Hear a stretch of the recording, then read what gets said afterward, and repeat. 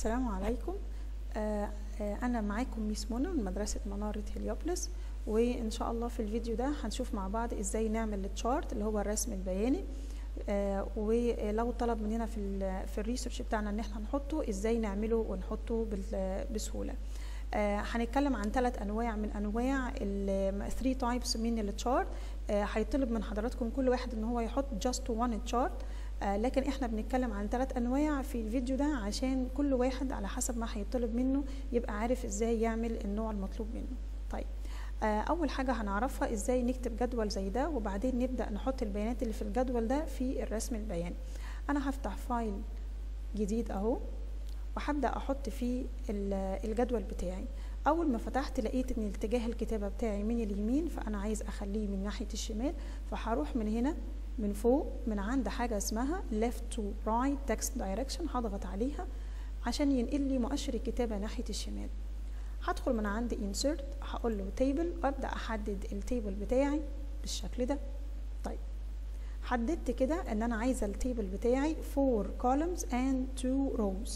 هكتب له هنا بيانات الجدول بتاعي اللي أنا عايز اعمل له الرسم البياني. هنا هقول له الير وهنا هعمل اماونت وأنا بشتغل على مثال على إنتاج مصر من القمح. على مدار ثلاث سنين وليكن 2010 2011 2012 وطبعا ده على سبيل المثال.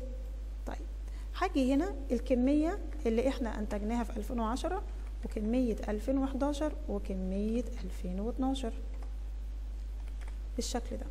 طيب عايزه أعمل البيانات دي رسم بياني.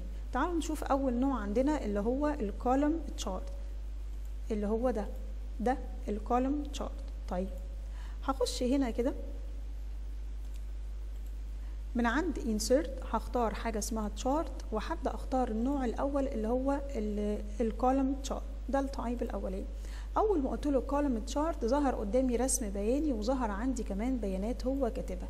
البيانات دي كاتبها لي على سبيل المثال. أنا بمسح البيانات اللي هو كاتبها وأبدأ أكتب أنا البيانات بتاعتي.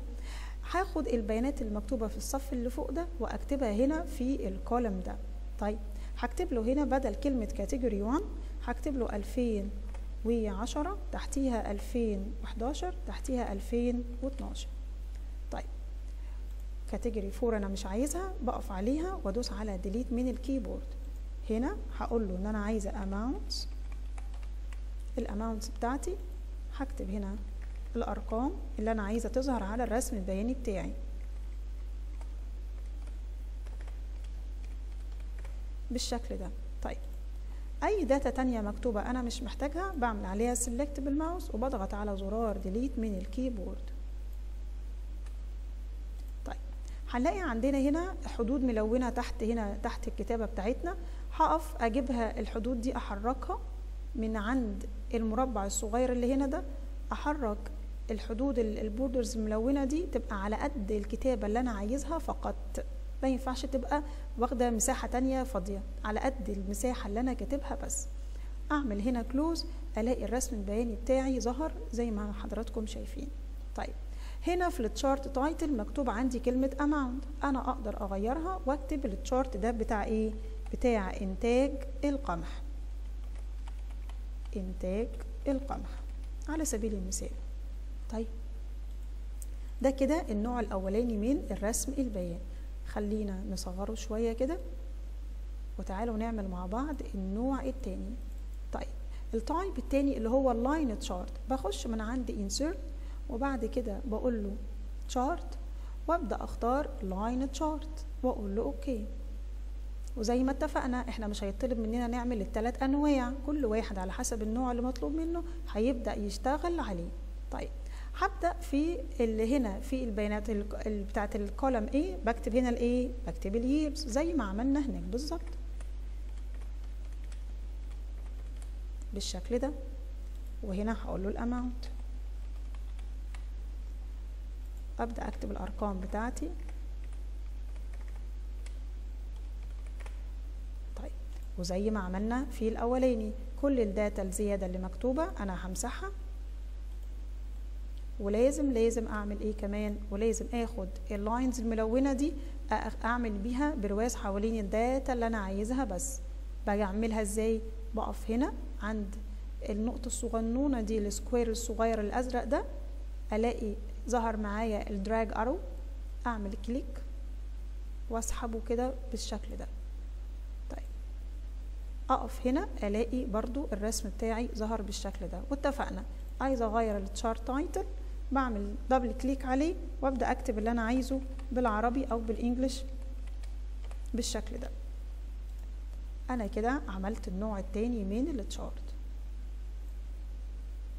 تعالوا نجرب مع بعض بقى دلوقتي نعمل كمان ال chart النوع التالت ال type التالت اللي هو إيه؟ اللي هو ال pie chart ال pie chart اللي هو ده بيكون شكله. طيب. بنفس الطريقة تقريبا ما فيهوش اختلافات كتيرة. هاجي هنا هاجي عند insert وأقول له chart. أختار المرة دي pie chart وأقول له OK طيب. هكتب هنا ال years بتاعتي. خلاص بقى. هم كلهم بنفس الإيه؟ الطريقة مش هتلاقوا فيها مشاكل إن شاء الله. طيب بعد كده هقول له هنا amount. أكتب له ال years بتاعتي. ال amount sorry أنا آسفة.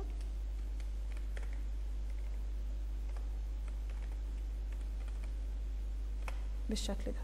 وال data الزيادة هنمسحها.